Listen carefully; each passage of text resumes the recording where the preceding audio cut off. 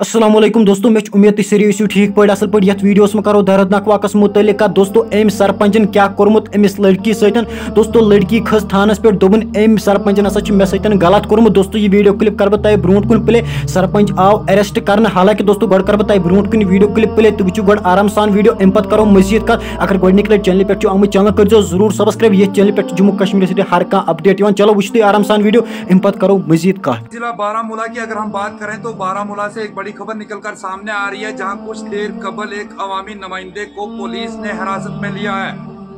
जी हाँ आपने ये सही सुना है कि जम्मू कश्मीर के जिला बारामूला के रफियाबाद इलाके से तलक रखने वाले एक सरपंच को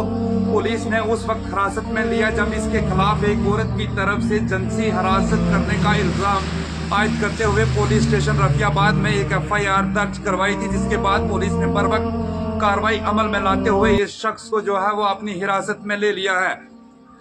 जिला बारामूला के रफियाबाद के रवचू इलाके से ताल्लुक रखने वाले अली मोहम्मद डार सनाफ अब्दुल अहद डार जो दोस्तों वुचते इमोशनल वीडियो क्लिप ये वाका वन पेज बारामूला रफियाबाद पे। दोस्तों युस जन लड़की एक्चुअली ये वनान अम हसा कोर मे सतन गलत। तो दोस्तों पुलिस अमिच निवान तो दोस्तों अमिच अरेस्ट करान हालाँकि दोस्तों अत मतलब क्या अपडेट इसलिए पता ये चैनल पे कर मगर दोस्तों, बदकिस्मती कत कि चैनल पे मगर वीडियो सारी वचान मगर दोस्तों चैनल गसान मुश्ती सब्सक्राइब करें। इसलिए अलर्ट रोजो चैनल थो सब्सक्राइब कर बेल आइकन थो आलस पे कर अति वात हर कह अपडेट सारी खुद गोड तय मे ती विजाज भी खुदा सवाल खुदा हाफिज।